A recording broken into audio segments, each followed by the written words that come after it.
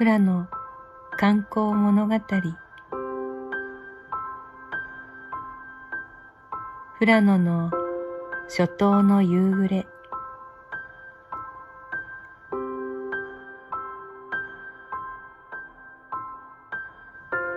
12月に入り一層寒さが厳しくなった北海道富良野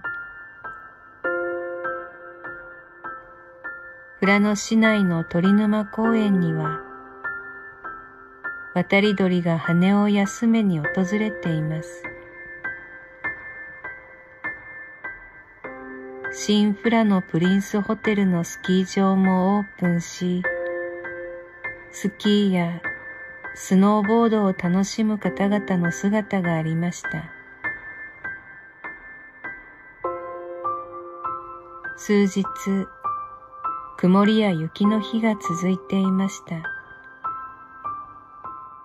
そんな中、雲の隙間に青空が見えると、ほっとした気持ちになります。厚い雲に覆われた周りに広がる青空が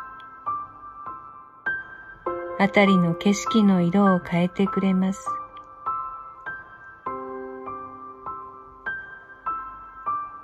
午後3時過ぎ、東の空に月が見えています。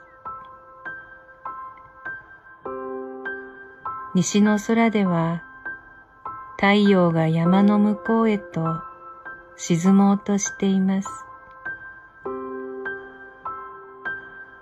12月7日から一年を24の季節に分けた二十四節気の大切に入ります。日一日と日が短くなるのを感じます。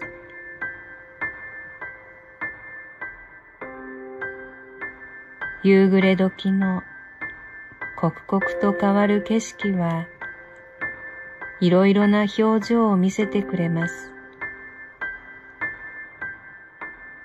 沈みゆく太陽と西日に照らされほんのり色づく景色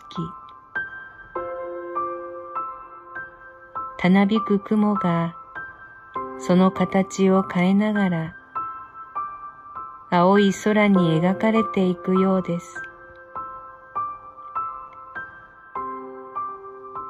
道の先に続く空には淡いピンク色に染まる雲が見えています。